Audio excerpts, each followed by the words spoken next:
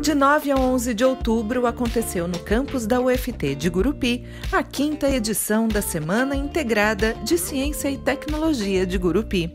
Esse ano, com o tema Bioeconomia, Diversidades e Riqueza para o Desenvolvimento Sustentável, o evento contou com palestras, minicursos, exposição de trabalhos científicos e muito mais.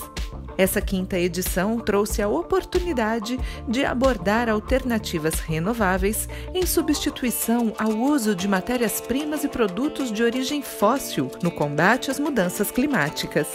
O SICTEG faz parte do programa Inova Gurupi e a Universidade Federal do Tocantins foi parceira na sua realização. Esse evento permite a exposição e participação e dá oportunidade para pesquisadores, alunos, graduação, pós-graduação, é, de mostrarem o desenvolvimento de suas tecnologias, seus produtos.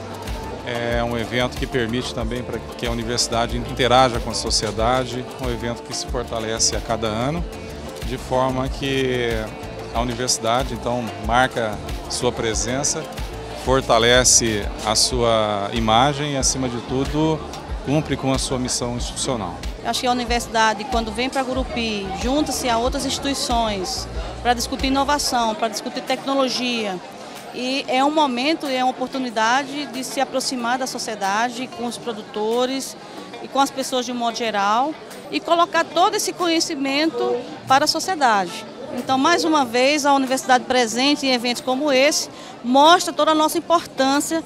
Esse evento ele é extremamente importante porque reúne né, tanto pesquisadores como empresários, como a sociedade, né, para pensar pesquisa, pensar produtos, processos, né, já que a gente está aí nessa onda de inovação, e é importante não só para o campus de Gurupi, é para todo o sul do Tocantins, né, a gente começar a pensar esse novo modelo de educação. Quando nós falamos de popularização, quer dizer exatamente isso, é ir para os diversos cantos do país para mostrar a potência, a importância do ponto de vista do que é o Brasil em ciência e tecnologia. Não pelo evento que acontece agora, mas é por todo o caminho que as pessoas que chegaram até aqui estão fazendo, pelos professores que orientaram, pelas exposições que estão acontecendo, pelos debates que surgem, abrindo portas para várias outras possibilidades. Então, a importância para o Ministério de Ciência e Tecnologia é porque são pessoas que estão discutindo o rumo da ciência e tecnologia para o país.